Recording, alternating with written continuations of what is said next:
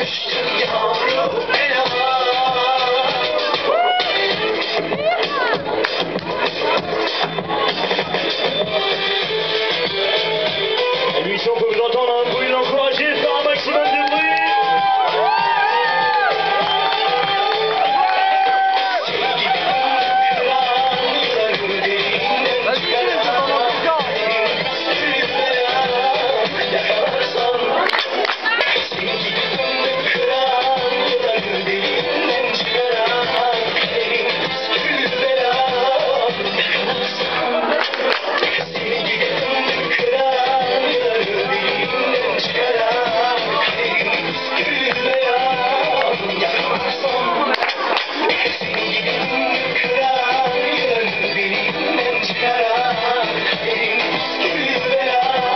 À lui, si vous pouvez l'applaudir, hein.